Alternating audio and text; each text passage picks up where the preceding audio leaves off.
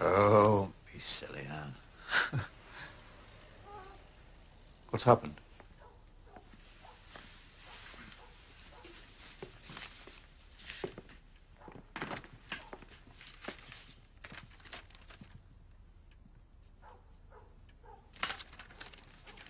Anne, listen to me. I want you and Margot to pack a rucksack. There won't be any time tomorrow. Daddy, what's going on? I'll explain everything later. Now go. Go on, Miss.